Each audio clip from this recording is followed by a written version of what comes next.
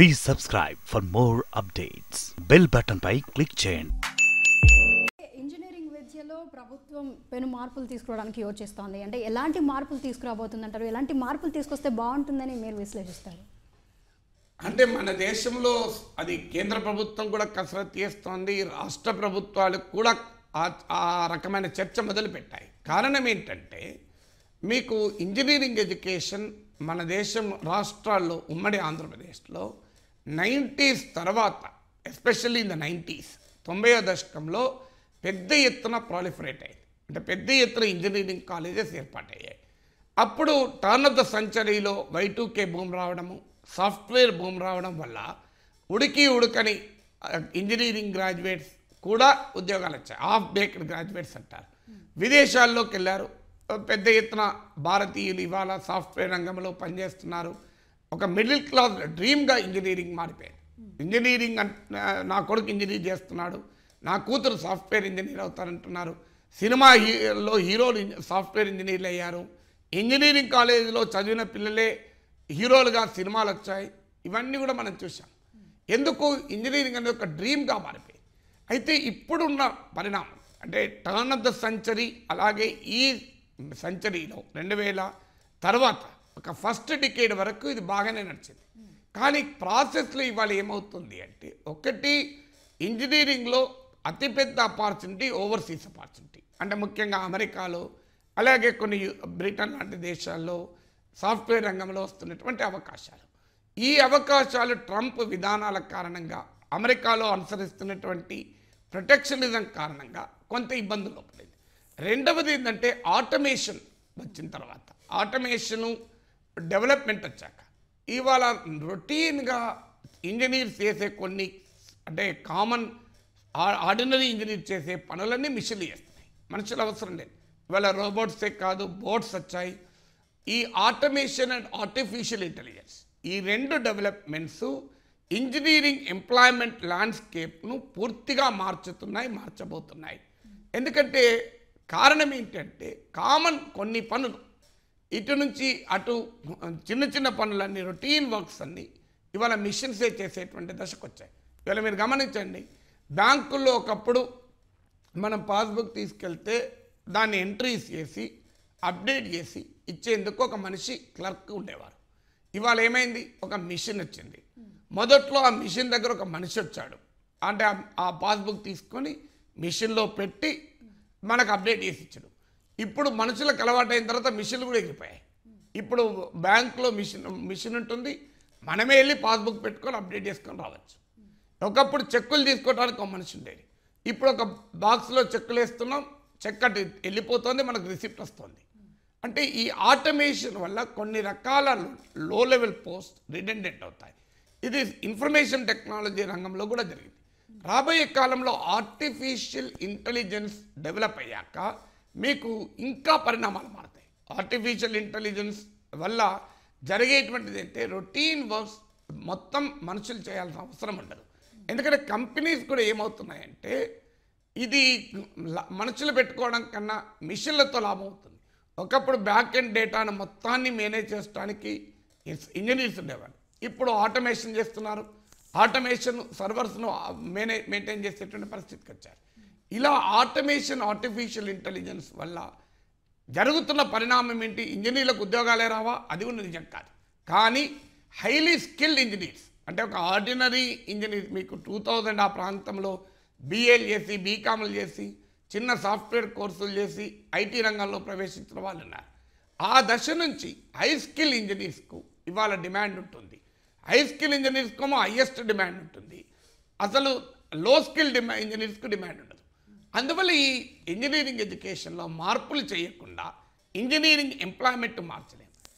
కానీ మన రాష్ట్రంలో నేను ఇంజనీరింగ్ విద్యపైన ఉమ్మడి రాష్ట్రంలో లెజిస్లేటివ్ కమిటీలో కూడా సభ్యునిగా ఉన్నాను. మొదటి సమస్య ఏంటంటే associated chamber of commerce and industry లెక్కల ప్రకారం only ten percent of India's engineering graduates are employable అన్నారు. అంటే వంద మంది ఇంజనీరింగ్ పట్టా తీసుకుంటుంటే తొంభై శాతం మంది ఉద్యోగాలకు పనికొచ్చేగా లేరు. ఒక పది శాతం ఎంప్లాయబిలిటీ అంటారు. ఎంప్లాయబిలిటీ అంటే ఉద్యోగం ఇవ్వగలిగేది. ఇవాళ కంపెనీస్ కూడా చెప్తున్నాయి ఏంటంటే మీరు నాలుగేళ్ళు ఇంజనీరింగ్ చదువుకుంటే మాకు ఉపయోగం ఉండడం లేదు. మళ్ళీ మేము we have to train you we have to retrain you మళ్ళీ మా ట్రైనింగ్ ఖర్చులు మాకే ఉంటున్నాయి అనే ఆవేదన వ్యక్తం చేస్తున్నారు. దీనికి కారణం ఏంటి? మనం ఇంజనీరింగ్ కాలేజీల సంఖ్య పెంచుకుంటూ వచ్చాం. ఇవాళ మీరు ఉమ్మడి రాష్ట్రంలో చూడండి ప్రతి రాజకీయ నాయకునికి ఒక ఇంజనీరింగ్ కాలేజ్ ఉంటుంది. ఎమ్మెల్యేలకు ఇంజనీరింగ్ కాలేజీలు ఎమ్మెల్సీలకు ఇంజనీరింగ్ కాలేజీలు ఎంపీలకు ఇంజనీరింగ్ కాలేజీలు పొలిటికల్ లీడర్స్ కూడా ఒక పెద్ద బిజినెస్ ఏంటంటే ఇంజనీరింగ్ కాలేజ్ అలాగే లిక్కర్ కాంట్రాక్టర్లు అడుగులుగా సంపాదిస్తే నెక్స్ట్ ఇంజనీరింగ్ కాలేజ్ పెడతారు. సో ఇది ఒక ఇంజనీరింగ్ కాలేజ్ అనేది కొంతమందికి ఉపాధిగా మారింది. కానీ నిజంగా స్టాండర్డ్స్ మెయింటైన్ చేస్తున్నారా? ఇవాళ మోడర్న్ టెక్నాలజీస్ ఇన్ఫ్రాస్ట్రక్చర్ బిల్డప్ అవుతుందా? ఇవాళ చాలా కాలేజీలు ఇన్ఫ్రాస్ట్రక్చర్ లేరు. ఇంజనీరింగ్ కాలేజీలో ఫ్యాకల్టీ లేరు. ఇవాళ మినిమం స్టాండర్డ్స్ ఉన్న ఫ్యాకల్టీ లేని పరిస్థితి తీసుకొచ్చారు. మీరు ఆశ్చర్యం వేస్తారు నేను మాస్టర్స్ ఇన్స్టిట్యూట్ ఆఫ్ టెక్నాలజీ ఎంఐటీలో వెళ్ళి స్టూడెంట్స్ ప్రాజెక్ట్స్ పెట్టే మ్యూజియం చూశాను. Student museum. అసలు ఇంజనీరింగ్ స్టూడెంట్స్ మినీ రోబోట్స్ తయారు చేస్తారు. అంటే అది పార్ట్ ఆఫ్ దర్ ప్రాజెక్ట్ అంటే ఒక part of their project robots తయారు చేసే స్థాయిలో ప్రపంచంలో ఇంజనీరింగ్ విద్య ఉంటే మన దగ్గర ప్రాజెక్ట్ రిపోర్ట్ కావాలంటే అమీర్పేట్ జిరాక్స్ సెంటర్కి వెళ్ళాలి. అమీర్పేట్లో ప్రాజెక్ట్ రిపోర్ట్లు తయారు చేసి ఇస్తారు. ఈ ఈ రకమైనటువంటి ఛాలెంజ్ ఎందుకు వస్తుంది? అందువల్ల ఇండస్ట్రీ ఇన్వాల్వ్మెంట్ లేదు సిలబై అప్గ్రేడింగ్ లేదు కోర్సుల అప్గ్రేడింగ్ లేదు టెక్నాలజీ చాలా ఫాస్ట్గా మారిపోతుంది. మారుతున్న టెక్నాలజీకి అనుగుణంగా మన కరికులం మారడం లేదు మన యూనివర్సిటీ సిస్టమ్స్ మారడం లేదు ప్రతి ప్రొఫెషనల్ కోర్స్కి ఉండే ఒక కామన్ ప్రాబ్లం ఏంటంటే if you are a talented and successful professional you will not coming to teaching ఎందుకంటే టీచింగ్లో వచ్చే ముప్పై వేలు ప్రైవేట్ ఇంజనీరింగ్ కాలేజీలో అయితే ఇరవై వేలు ముప్పై వేలు. లేదు ఒక ప్రభుత్వ ఇంజనీర్ యూజీసీ వేతనాలు ఇచ్చినా కూడా ఒక అరవై వేలు వస్తాయి. సో ఇవాళ ఒక ఇంజనీరింగ్ ప్రొఫె అసిస్టెంట్ ప్రొఫెసర్కి అరవై వేలు. కానీ ఇవాళ ఒక ఇంజనీర్గా పనిచేయాలంటే మీరు మంచి కాలేజీలో క్యాంపస్ ప్లేస్మెంట్ వస్తే ఈ అరవై వేలు కాదు లక్ష రూపాయలు తెచ్చుకున్న వాళ్ళు ఉన్నారు.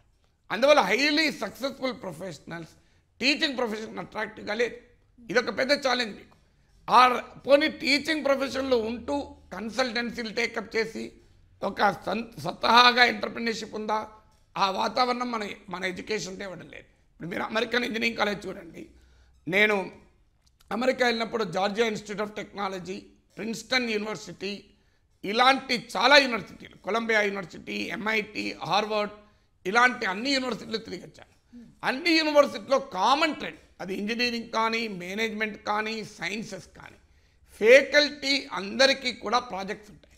వాళ్ళు ఇండస్ట్రీకి కావాల్సిన ప్రభుత్వానికి కావాల్సిన రీసెర్చ్ కూడా చేస్తుంటారు. ఆ రీసెర్చ్ గ్రాంట్స్తో ఆ కాలేజీలో ఇన్ఫ్రాస్ట్రక్చర్ డెవలప్ అవుతుంది.